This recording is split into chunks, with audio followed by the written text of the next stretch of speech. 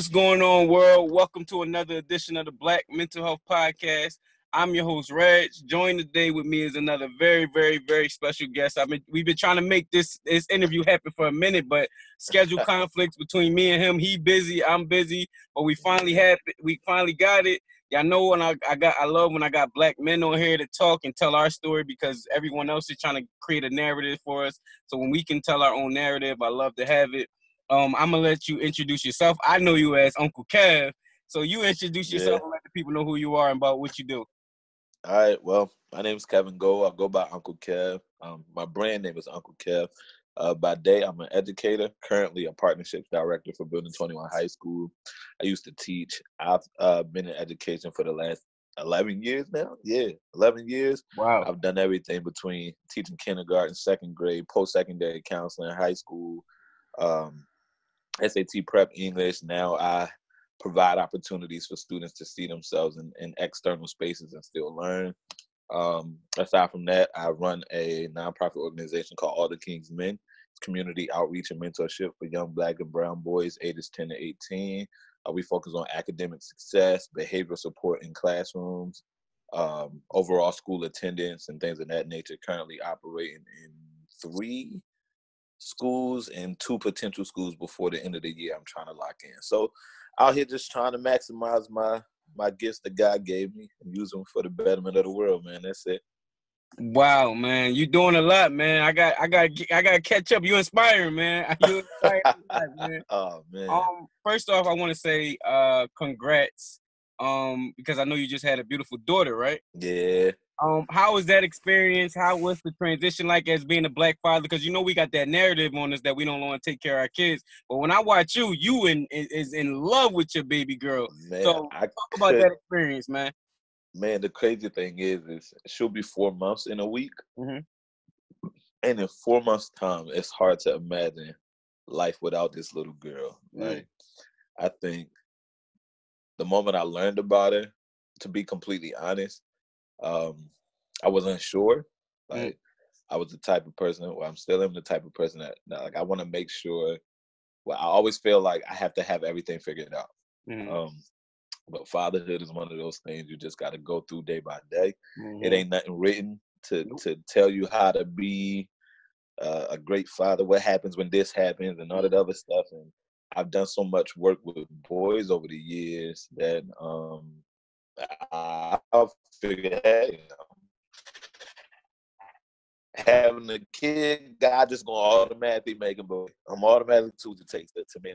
He was like, nah, bruh, For this little girl, slow you down a little bit, teach you so much about yourself, man. And I like it's it's humbling, it's grateful. Like I ain't gonna lie, I miss sleep. I miss sleep. I miss sleep. But um I wouldn't trade it for the world, bro. Mm-hmm. I would not trade it for the world. This little girl in a short amount of time has given me so much more to live for. And it's a blessing. It's a true blessing, man. Man, that's that's exciting to hear, man. Like I I got my boys, my two boys, and mm-hmm. um, mm-hmm. you know, people think like it's this amazing thing, like it's a magic trick when you see a black father taking the care of their kids, and it's like like it's not supposed to happen. It's not supposed. It's just is normal. Like it's yeah. normal but I understand because from the where we come from, it's like a lot of the narratives get like placed on us. So with you uh, being able to be a father yourself, and now you see these young men that you deal with on a day to day basis. Yeah. What do you think? I know the answer, or what I think is the answer, but what do you think is missing from them that that that that that, that they need and they're looking for that causes them to act out or be around bunches. Because I'm gonna get my answer up front. I think it's a lot of daddies missing. Once once the oh. daddy's there, that's it. Bro, you took it right out. I, like they they're missing the same thing I was missing when I was their age. Genuine love and care from the people who we wanted from the most, our hmm. parents. Mm. Um, I didn't have my father around. Um, and at some point I decided to let that be what wrote my narrative. I let that be what helped me decide who I needed to be. And then when I realized that I can't use that as an excuse, that I didn't necessarily need my father's presence to be what gave me permission to do and be great. Mm. I, you know, just went on that way. I was like, listen, there's nothing there's nothing his presence or his absence could do to take me out of who God designed me to be anyway. So mm. I just may I may as well be who I need to be. And uh, no lie, sometimes it was tough. I hated my pop. I love my pop, but I'm the only person alive in this world that can get my pop to listen. Mm-hmm. So that's just what that is. So I think like they are missing exactly what I was missing. That mm. that genuine love and guidance from the people we wanted from the most. And and what strangely enough is that they're gonna find it wherever they choose to find it. Good and or bad. That's why I do what I do, bro. Right. Like let me be that that intervention before you go look for it in a place that's not gonna come from you. Not right. gonna show you what you need to be, how to utilize your, your gifts for something good. Um, I can't even I can't even say it's the streets, man. Like these guys legit just look for somebody to show them something different. That's it. Um, they're used to the narratives the streets are writing, the things that the streets is introducing to them. What they're not used to is somebody loving and caring for them genuinely. So when you show that, they're they're a little standoffish at at first. At, at, at first, but then when they realize that you mean business, they give you what you want and they get what they need out of out of it. So that's what that is, bro. Like they just need exactly what you said, bro. We we need we need men to step up. That's mm-hmm. just I'm just put it out there, uh, and women too. But there's nothing more essential to the development of the mental state of a young boy than that of the presence of a man, be it his father, his uncle, his grandpa, a community leader, a male teacher, whoever it is. He needs that that male figure to kind of guide him in a different direction. All I had was women around me. So I learned how to be a, a man based upon how they interacted with the men in their lives. My dad wasn't around, so my mom had boyfriends and stuff like that. And I know what I didn't like, so I know I didn't want to be him. And then when my sisters started talking to guys, I know what made them cry, so I know what not to say to girls to make them cry. You know what I'm saying? Now that I got a daughter, I get the chance to be the example. My father wasn't to my my sisters. You know what I'm saying? So everything about the men she fought for lies uh, based upon who I raised her to be as a as a woman. So yeah, man, I could go on for days about that, but no, because I we we we kind of got the same trajectory where my dad we we we, we rebuilt our relationship or we're working on. I don't even say it's rebuilt, but um, my my mom and my sister was the main main two prominent figures. My mom had husbands, two husbands, which were my dad and my stepdad. My stepdad and her wasn't together. I had my older sister. I watched dudes make her cry, watch her go through these things. So I knew how to be more gentle with women, but I also didn't have the guidance to be in a relationship now because yeah. I never seen saw what it looked like. Yeah. So now I'm just trying to figure it out. I had my fumbles. I messed up, uh, mm-hmm. fortunately enough, I'm still with the woman that I had both of my children by, and we were able to work through our differences. But it wouldn't have been it would have been a lot of help just having that guidance, like you said. Oh yeah. And the only thing that I had for me, because mind you, I got two kids, and my friends, majority of my friends, straight straight out of college, we don't, they don't got no kids. So now I'm alone in this journey trying to figure this yeah. out, and then I'm yeah. a fumble, and then they gonna learn from me. So yeah. I still gotta mess up. Yeah, most of my close male friends are married, but mm-hmm. I'm the mm-hmm. only one out of my circle with with a kid. So okay. it's like we kind of balance each other out a little oh, bit. Okay. Okay. but, like I want to touch on something you said about you know basically what you needed and stuff like that, and you said you you didn't want to fail. Sometimes we, we need to mm-hmm. like um that gives us permission to kind of like look at life from a different perspective. Like we can't always be the best at everything, and mm. nobody's going to teach us to do that. Um, and the best thing my father could have did for me was not be there, mm. because had he been there in the state that he was in, it it would have ruined me. Mm. So that's the best gift I could have ever received from my father was his absence. You know that's the title of this episode now, right? I always try to figure out what quote was said. That's the title of, of it right there. But um, you say y'all have some type of relationship now. Yeah. Uh, how did that like happen? Um, because for me, I know I had to do some reaching out. Like I had to put aside. I always say you either fight for the relationship or you fight for your childhood. You ain't a child no more, so you can't get that back.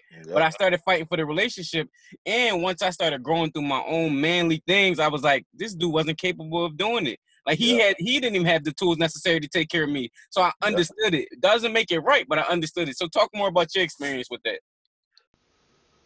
This portion of the podcast is brought to you by Devere Sock Co. Devere Socks offers the most unique and stylish products on the market. They provide products that are bold, adventurous, and express confidence. Their products are meant to draw attention and stand out from the norm. They are creative socks for those who aspire to stand out. They are a combination of comfort and expression for the modern individual. Devere Sock Co. is a trend-setting accessory line retailer offering unique designs that can be worn on any occasion. Whether you're dressing for a boardroom or the boardwalk, they have a design for you. The founder is actually my co- my, my college roommate, Jabril Hart. I can vouch that you're getting quality products and excellent service um, from just spending time with him and knowing the type of guy he is. He was also on episode three of the Black Mental Health Podcast, so go check that out um, to hear more of his story and what he has going on. For more information about Jabril Hart, or DeVersocco. Check out DeVersocco, DevereSocks.com. Sorry, it was so many co, sock, whatever, but check them out. Um, and I can vouch for them. Tell them Reg sent you. This portion of the podcast is also brought to you by the BYOB Retreat. BYOB stands for Building Your Own Business. BYOB is an ecosystem of entrepreneurs, side hustlers, and creators of color. In its second year, the BYOB retreat continues to bring together some of the country's most dynamic entrepreneurs, strategists, creatives, and minds for, for sessions around building your business, scaling your impact, and managing your money, and learning to live your best life holistically. They connect the most talent and diverse brands in a culturally inclusive space to help you grow from startup to success. It's more than an event more than a conference, more than just feelings. It's about leaving your old self behind and returning with new vision, new skills, and new connections for life. Get ready to join over 2,000 plus digital entrepreneurs, modern creatives, and diverse innovative leaders May 24th through 26th only at BYOB Retreat in Atlanta, Georgia. For more information about the BYOB Retreat, check out BYOBLive.com and tell them Reg sent you. So I was an after school instructor at Lee in elementary in West Philly, mm. 25 years old. Last year, co- no, I was finished college. Yeah, fresh out of college. First job was an after school job. It had been on my mind since I was 17 years old to write my dad a letter. Mind you, I said I was 25, right? Right. Since I was 17. Wow. Every day I thought about writing my dad a letter. And every time I thought about it, I was like, nah, I'm cool. One day I was just like, you know what, forget it. Mm-hmm. I wrote my dad a letter on a Friday, four and a half pages front and back. Wow. In this letter, I said everything I felt like I needed to say. Poured my mm. heart out. I was mad in the letter. I cursed in the letter. Mm. I was sad in the letter. I cried in the letter. Like all parts of me and my my little boy self who yearned for a relationship with his father was poured out in that letter. I put it in the mailbox on a Friday. Immediately regretted it. I'm like, how he gonna respond? Like, right? If he called, like, I started going through scenarios. If he called me, if he could get the letter and curse me out, I'm gonna curse him out. Yeah, and he just gonna have to fight me when he see me. Right. But if he get the letter and he be remorseful, like, what am I gonna do with that? Because I don't know how to deal with this man's emotions. I don't even, you know what I'm saying? So, right, right. I remember clear as day on a Tuesday afternoon, I'm at the school program and I had two of my sons with me. That's what I called the guys that I mentored. Two of my sons were with me, bro. And I got a call from a number that I mm. didn't know. It was my pop. I was like, hello. And basically, long story short, he couldn't even talk. He was crying. Mm. He was like, I got your letter. And I took this deep breath because in that moment, I'm going back to that that scenario play I put in my head. Like, all right, he told me he got the letter. Uh, is he about to curse me out? Is he about to do this and do that? Because I was playing back. All right, if he come, if he come ugly, I'm coming ugly. At this mm-hmm. point, I ain't got nothing to lose. Mm. His man was like, "Yo, I always wanted to be your father. I just never knew how. Woo. I'm 40 years old. I can't even call myself a man."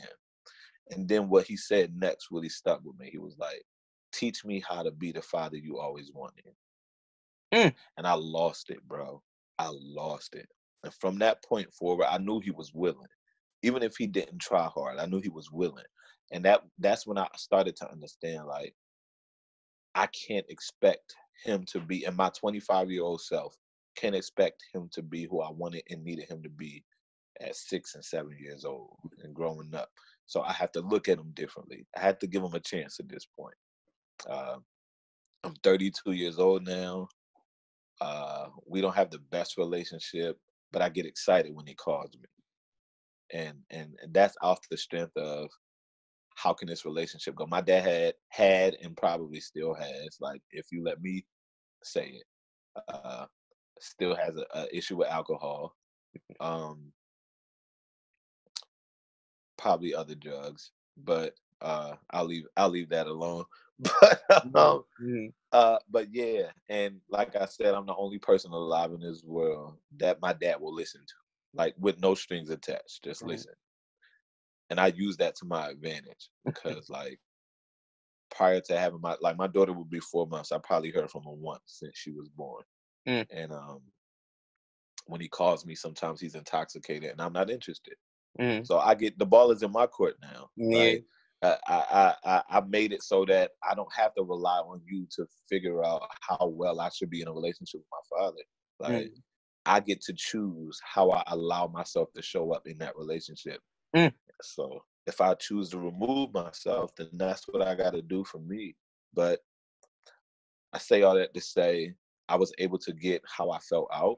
Um, he was able to hear it, feel it, and do what he chose to do with it. And I made my peace with that, and I made my peace with God, and that's all I owe myself. And notice I said myself, I that's never it. owed him anything. Mm-hmm. So that, that's what that is, man. No, man, that's that is man, that is phenomenal because it, it, it's crazy because we walk past, but it's the same narrative almost in the sense of like I had the same struggle with my father, and still to this day, the relationship is not where I would like it to be and then you find yourself almost like I'm teaching you, and it's yeah. like my dad, but yeah. you kind of just gotta take it for what it is, and it's like as long as I have that open line of communication, I allow the type of pain that you make me feel, mm-hmm. or the type of uh, happiness you give me. Yep. Like yourself, I went through when I went through my accident. I was happy as hell. I cried when my dad walked through the door because I was sitting there complaining to my mother, my godmom, my sisters, all these women in the room. I'm like, well, where's the the testosterone at? Like, where's the man at? And and he just wasn't there. And and then I went to sleep. I guess I was mad upset. I walked. I woke up and he was walking through the door. I bawled my little eyes out because it's like as much yeah. as grown as you are, you still yearn from that attention from your father man, or a male figure. Period. You sound like me. I was graduate. I graduated from Temple in 2010. Right. Mm-hmm.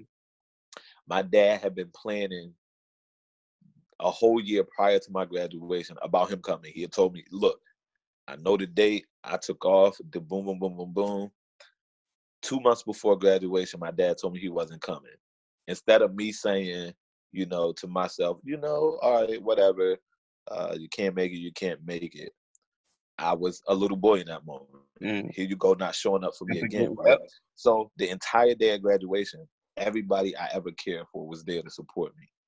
And I'm looking around, and eight thousand people around me for like graduate wise, but I'm looking in the Liacouras Center and there's thousands of people in here, and I look at one corner and I see my pop standing there. Mm. I was like, yo, nothing else mattered. Like mm. my grandma is my world. She was there, but I saw my dad and I was like, dang, like you missed every monumental part of my life, mm-hmm. but the last chapter you was here for. Mm-hmm. I was mm-hmm. like, yo, that that's something. Like I was excited, I was happy. Not mattered to me more in that moment than to see him there to support me. And I told him when he came in, I'm like, you, and he stayed. He stayed as long as he could. Mm-hmm. Um, I think I was in the hospital for a week. He stayed for at least for half more, if not more. And he spent every night in there. And I'm like, yo, you gained some years back, man. I gotta That's give you that up. credit. Yeah, I got to. You you came yeah. at a pivotal point, a point, and you gained mm-hmm. them years back, man. At least some of them. That's what's up, man. That's a blessing. That's a blessing. So, um, I don't want to get. I, I, guess I can get into it now. But you posted a story, um, and it, on on Facebook or Instagram. I don't remember. Probably on both. And you posted a story. Um, I don't want to uh, mistell it, So I'll let you tell it from your point of view, but it, it just enraged me and it and it ties into mental health in the black community because it's still external things that we cannot control that we have to deal with. But I, again, I don't want to overtalk it. I'll let you take it away. So basically we were in uh we were in Delaware and um we had a light and this, you know, my girl and her best friend are in the front and then is me, my daughter, and her best friend's son in the back. And he her son was saying like, why he why is he looking at me? Why is he looking at me? What is he saying to me? And her tents are like dumb dark. So I'm like, roll the window down so we can see what's up. It could be something wrong in my brain. I'm like, okay, what's up? So I see the guy lean out of his window, the, the white guy lean out of his window and just stands there spewing all this negative energy, right? Wow. So I'm at this point, I'm getting mad, not even knowing what he's saying. So I'm like, roll the window down, roll the window down, roll the window down. She finally cracks the window. She was scary, but she finally cracked the window, mm-hmm. and I go, um, and I hear him, and he says, uh, "Do you effing hear me?" Um, he spits at the car and called us effing niggers. Mm. And at this point, I could care less about anything else other than the rage I was feeling. Like I just wanted to follow him.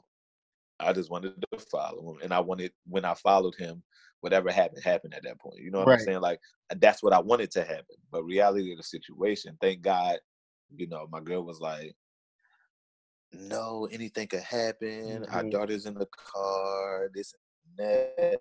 Like, bro, I was so enraged. I couldn't stop shaking. I was mm. so mad because I think for me, what it was was like, how can somebody blatantly disrespect somebody like that? Yeah, like, even when you mad at somebody, the worst, like, what's worse than physically hitting somebody is spitting on them. Mm-hmm. He spit at the, that makes you feel like you're worthless. And then not only to spit, but then to say effing niggas, and I'm like, yo, right this still happens. Right. Like, this still, and that was the first time I had experienced that level of extreme racism. Like I have been racially profiled plenty of times before, um, but never to that extent. And for me, in that moment, aside from rage, I just couldn't understand why. Like mm. we never did anything. We just mm. at a light, just like y'all at the light. And we deserve that. Okay. Right. Okay. Wow. Yeah. Wow, man. So you you spoke on something and, and, it instantly made me think of something. Um, because I I know I had it in myself that black boy rage oh, where oh, yeah. we we carrying around uh that not having our fathers. We carrying around mm-hmm. men ain't ish. We carrying around men ain't no fathers. Like we we yeah. carrying around all of this stuff. Um, how do you uh manage it within yourself and how do you teach the boys that you work with to manage it? So for me, honestly, I have never been a confrontational person. Mm. The only time I ever like got angry enough to argue with somebody is if I was super mad and couldn't control it. Mm. Like if I allowed myself to get super mad. But I've never been confrontational. So I, somebody had to take me there in order for mm. me to res- get that kind of response out of me, right? Mm-hmm. That has been my entire life. Like I'm 32 years old. I probably had two fights my entire life because mm. I don't like confrontation. I've had plenty of arguments, but mm. I never allow myself to get that mad. Um, so in situations like that, um, I think for me, I always reflect on the image I portray to other people, and I'm like, I have a following, and these young boys, like, I am the only source of positive energy or positive interaction that they see, and if I respond in this way, that gives them permission to do the same. Mm. So I can't do that. So I'm always self checking myself and self checking myself just to make sure, you know, at the end of the day, somebody's watching you, and you don't want you don't want them to feel like what you how you respond gives them the green light to do the same. So when I say to my guys, like I tell them, listen, I'm human. You're gonna see me do something I'm not supposed to do. You're gonna hear me say something I wouldn't necessarily say. Check me on it. Mm because I'm gonna check you on it. So I give them I give them complete permission to be like, yo, Kev, you tripping. Like, yo, Kev, you bugging. That ain't true. You don't talk like that. I remember the first time I cursed him on one of my boys. He was like, yo, I ain't even know you talk like that. Don't do that again. I was like, you right. You're mm. right, because that's not me. I don't do that. Mm. Um, and then Like it's just it's just constant checking. Like I don't expect them to give me anything that I wouldn't give to them. So it's like just as much as I'm their mentor, they let me know that yo, we your little brothers too. So if you do something out of whack, we checking you on it. Right. Yo, Kev, you're not about to argue with this kid. Right. You're not about to argue with this this parent. You're not about to do this. You're not about to do that. That's not you. That's not you. So I don't I don't really have to to answer your question. I don't really have to say much to the guys. They already know what's up. Right. Like um at any moment I catch them slipping. It's just a simple look. Uh, and that's exactly what it is. It's a look. Come on, man. Like you know what's up. You know Yeah. better than that. Like, and I've been blessed to have been able to operate with young guys who have parents who give me permission to be that hardcore mentor. Mm. Like, it's been mom saying, if you need to put your hands on them, put your hands on them. Because if you don't, it's in the street going to, and it's not Right. just going to be hands. You know what I'm saying? Like, I haven't met too many fathers, bro. And I mentor over 60 guys in the city. And I've only met maybe two fathers. Everybody else is single moms. And it's like, yo, Kev, we need you because they don't get it at anywhere else. Mm. So it's like, yeah, um, it's it's kind of a, a checks and balances type thing. Just as much as I'm a mentor who's mentoring, um, my mentees kind of give me the same thing I give them. And the beauty in it all is that I see them beginning to mentor young boys Mm. the same way I do for them. And like, man, you talking about something that makes you feel good. That's it. Mm. That's it. To hear somebody was like, one of my boys was asked, "What do you want to do for his senior project?" Um, I want to do the impact of mentorship on Black and Brown boys, and I want Mr. Cab to be my mentor for the senior project. He's already my personal mentor, but I want to shadow him. I want to follow him to see what it is that he do so that I can do the best I can at this. And he currently mentors five ninth grade boys just Wow. off the strength of relationship, man. The best feeling in the world. Best feeling in the world. So yeah, I don't really have to I don't really have to say much to them about, you know, responding to things negatively. They just think, eh, how would Kev do it? Mm. And that's how I think. Like, if I do this and if I say this and I respond to this in this way, what does that say to them? And then I, I just check myself. Um, you spoke on something that I wanted to. I know you- spoke on it briefly, but I was going to ask, um, what do you do with the parents who boys are out of control? But you know how some people don't want you, everybody talking to their kids any type of way or talking to them or dis. Oh yeah. Well, how do you handle that yeah. situation? This part of the podcast is brought to you by Eustress Inc. We all have good days and bad days, but some may need help to make sure that their good ones outweigh the bad. Eustress Inc. strives to raise awareness around a taboo topic that one may suffer along with on with on a day-to-day basis. Eustress Inc. is a nonprofit organization whose mission is to raise awareness on the importance of mental health in underserved communities. On Saturday, May 18th, Eustress Inc. is presenting Charlotte's fourth annual Let's Talk About It Mental Health Awareness Walk. The Let's Talk About It walk will be held at Martin Luther King Jr. Middle School in Charlotte, North Carolina. They ultimately they ultimately want to show support for those in the community living with mental disorders and, and to encourage everyone not to be afraid to talk about it. Stress Inc. was founded by Rashawn Miller, who is a mental health change agent and one of my many inspirations in my mental health journey. For more information about anything else with Eustress Inc. and what Rashawn has going on, check out EustressInc.org um, and tell them Reg sent you. This part of the podcast is also brought to you by No Black Girl Left Behind. No Black Girl Left Behind is a movement that cultivates a safe space for the black women for black women to come together to connect, uplift, and inspire one another towards fulfilling their endeavors. It's an opportunity for black women to unite and provide one another with support and respect. It's a place to promote leadership amongst black women in the community. It's a home for black women to connect with other organizations to achieve mutual goals. And they take pride in mentoring and breeding leadership in the younger generation, with one of its main goals being to promote awareness of black culture. One of the founders was on episode 11 of the Black Mental Health Podcast. So make sure you check it out and to hear more of her story and what she has going on. For more information about Dr. Alexis Rhodes or the No Left the No Girl Left Behind movement, check out no black no black girl left behind.com and tell them Reg sent you.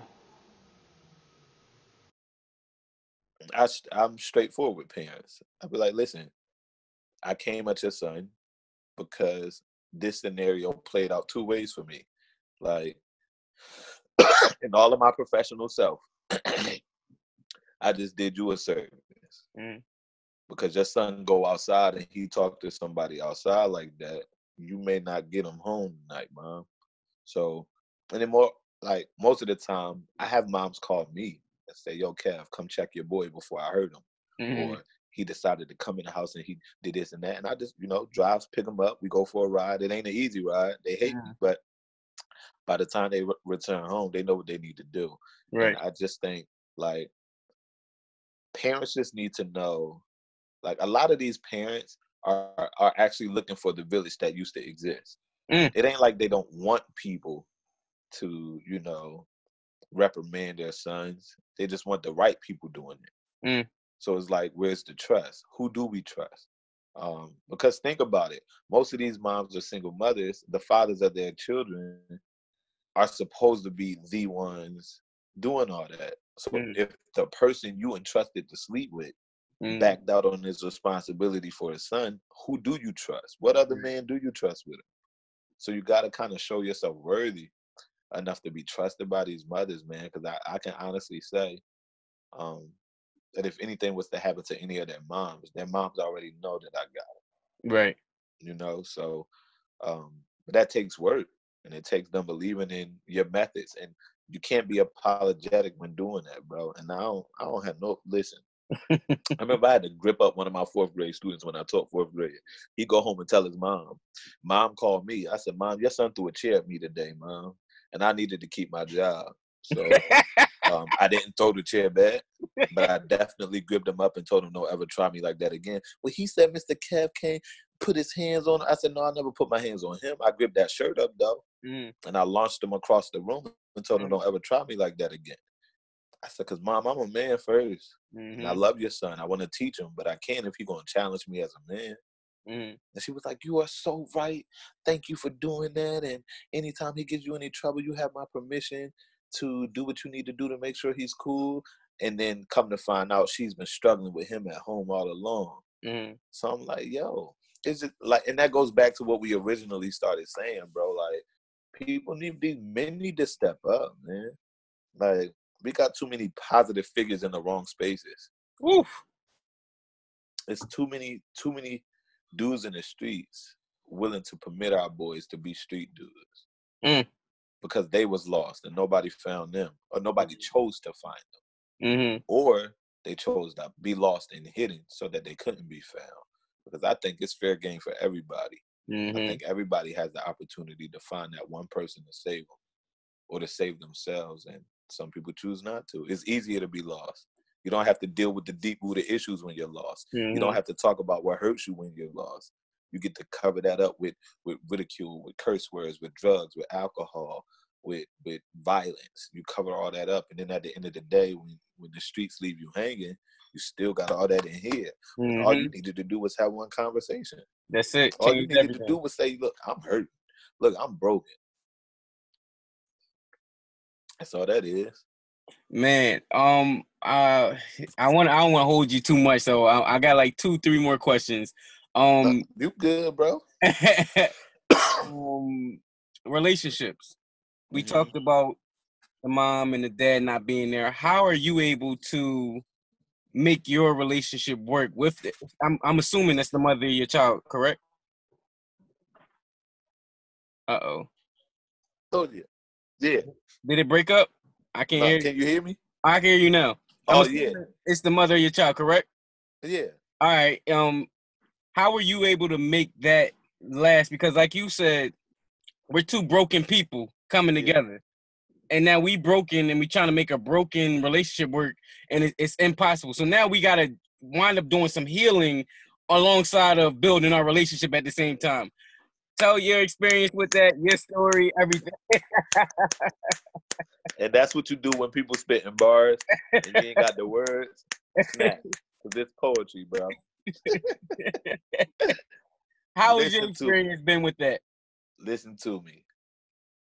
I am one of the most honest people with myself. Person, mm. like I'm, I'm most honest with myself, and I'm. I have no problem saying when something's wrong with me, mm.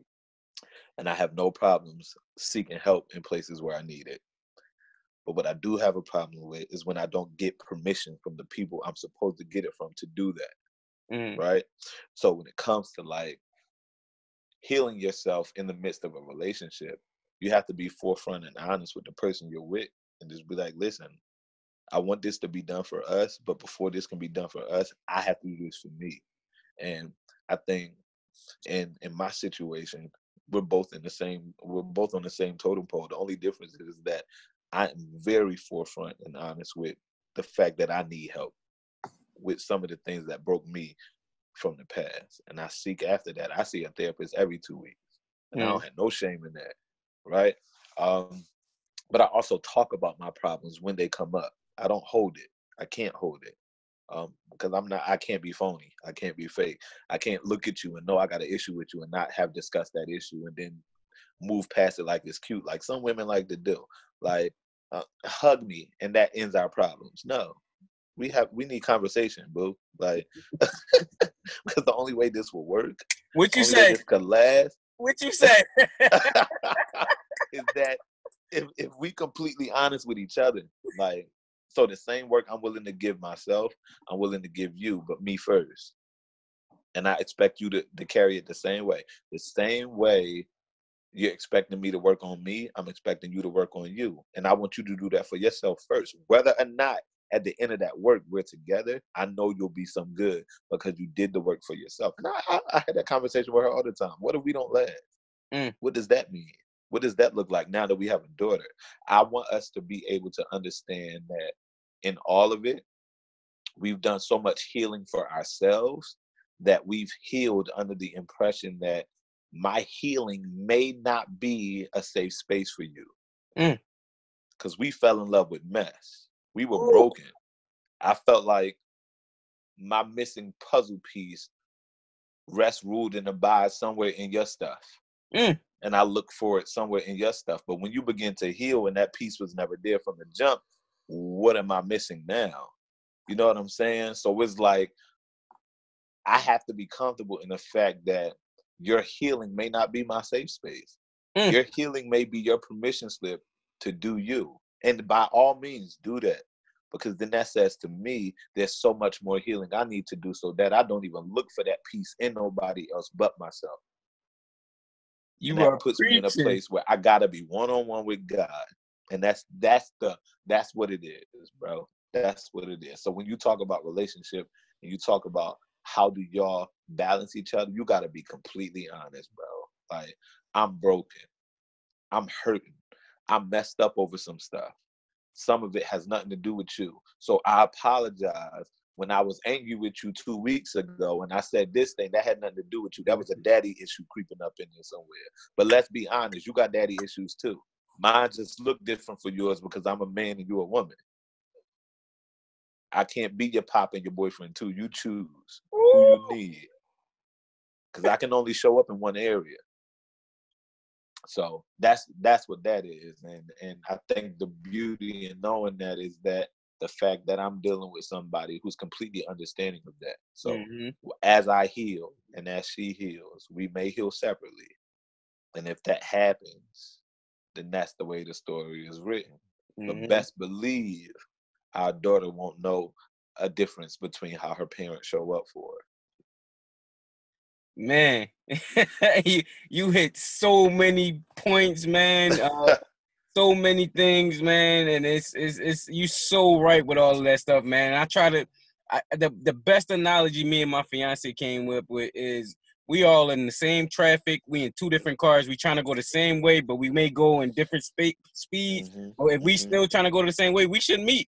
We yeah, should somewhere. Meet. But if we don't, it's okay because you right. You running and I'm running my race. And I'm driving Absolutely. my way and you driving your way. But it, like Absolutely. It, it, makes sense right now, but it may not always make sense. So when people are like, when y'all get married and when y'all doing that, it's like when we ready, when we, when it's our time. Yo, my time, not yours, boo. Right. At the end of the day, I can't get married to please you. Right. Because you ain't gotta live in my household. You know what I'm saying? like, and people be like, y'all done had a kid. Now when is the mm-hmm. wedding? When when we decide to have one, mm-hmm. if we ever get there. Exactly. We got too many issues that hash out. Sometimes stuff happens. Sometimes stuff don't go by law, by the mm-hmm. book. And and when it don't go by the book, you got to learn how to turn the pages of few. Like you ever you ever went to take a test and you get to see the passage and you get to see the answers at the same time. Mm-hmm. But you understand in order to answer the question correctly, you got to either read the passage 1st mm-hmm. or go mm-hmm. back to the passage and look for the hints that are, are given already in the answer. Mm-hmm. Relationships the same way. Mm. It's the same way. Look, I, I get to see what I want, and what I have right here. But at some point, when it's time for me to answer to myself or to answer to her, I don't get the opportunity to go back and reread. Mm-hmm. I have to mm-hmm. skim through, pull out the pieces. Quick. Yep. Pull out the pieces. And sometimes people don't know how to do that. Critical thinking skills applies to more than just the books. Mm. Mm. You, you, gotta you gotta learn how to mastermind and maneuver thought in every single space of your life. And and sometimes it ain't always easy when you're dealing with women who tread lightly, tread lightly. Tread yeah, I'm, yeah. Let me go ahead, shut up. But no, it ain't always easy. I'll just say that it's not always. It's easy, not always. But it, it, it, serves a purpose, and like mm. I said, whether or not y'all heal in the same space or you heal separately, healing must occur, mm-hmm. and and those conversations must happen. Um, last question. Um, what is your overall viewpoint, perspective, experience with mental health in the black community, especially with the young black boys? Um, I always say when I go speak at schools and talk to the kids, I'm like, we all shouldn't feel alone in a room full of people. Like we all feeling alone and we all going through our own internal struggles, but we sitting here acting like we all ain't got the same problems. Oh so, my So, Ooh. what is your viewpoint on mental health? Whatever you want, just go fire. Whatever comes to mind, go ahead. So, Pete, I never knew mental health had a name. Mm-hmm. I never knew I suffered traumatic experiences. Mm-hmm. I never knew my experience could be placed under the umbrella of trauma. Mm-hmm. Um, so when I was introduced to the idea that I had in fact suffered traumatic experiences, I had to do some self reflection. And here's what that is there is no way I can be 100% great at what I do and be 100% broken in who I am. Mm. So at some point, I had to understand the process of healing supports the process of progression in my areas of greatness, no matter where I decide to show up in life. I can't be a, a great educator and be broken. I can't be a great mentor and be broken. Can't be a great father, boyfriend, cousin, friend, brother, uncle, however, whoever, broken. Um, mental health is so important to me that I'm willing to risk spending time alone in a world by myself if that means I get to heal completely and then God just placed me where He thinks I needs to be. Right. This this goes off like this strength that we don't talk about it enough. We don't heal because we don't talk about it enough. Um, we have to understand that before we owe anybody anything, we owe it to ourselves to be honest. And there's nothing wrong with saying I'm broken and I need help. There's nothing wrong to saying I'm hurting and I need healing. The same way you would cut yourself and seek a band-aid. Well, open wounds always are, are, are, the playground for everything to infest in it. And and if we're not willing to heal those wounds, we we are we're infected. And that's what that that's exactly what that is. When you're broken, you're allowing yourself to be infected with so many different things that can cause you to to to break down and uh, and ultimately ruin you. So heal. Point blank period. Heal. And and and to to the young boys out there stop thinking that you diminish your manhood by saying you're hurting. Mm. Stop thinking that you're less of a man because you're hurting. You're more of a man by admitting that you are, because admitting it means that you're in a position to accept what comes after it, which is healing. Mm. And change occurs when we're most honest about the things that are hurting us. Hurt people hurt people, but broken crayons still color. So it's like I'm still able to be hurt and be broken and still be my most beautiful self inside and out while I while I heal. The same way you could rip a dollar, tape and still spend it.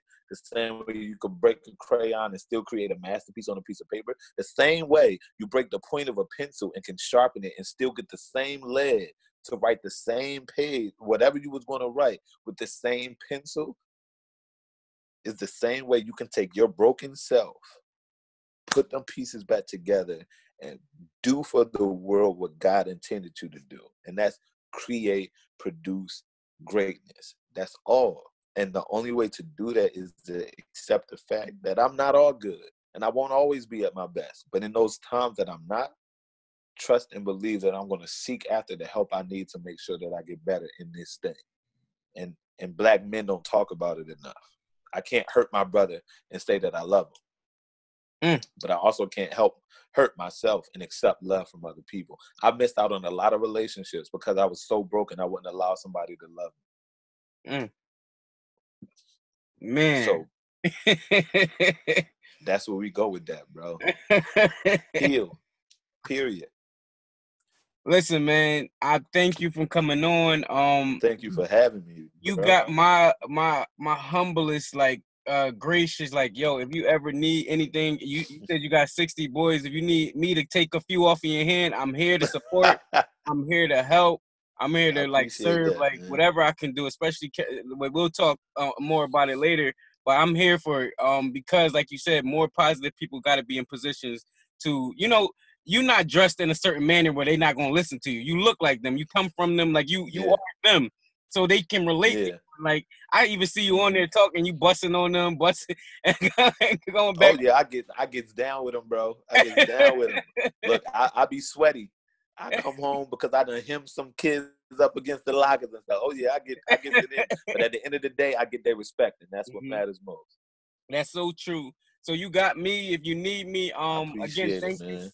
For coming on. Um, and on that note, guys, follow him. He, he I'll, I'll sus- uh, I put his link, his information on the show notes. Um, follow him, support him, support his nonprofit.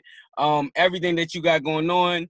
Um, and remember that this platform has never been about an alter uh, uh replacing therapy. It's an alternative, and it's a place where people share therapeutic stories. Thank you for listening.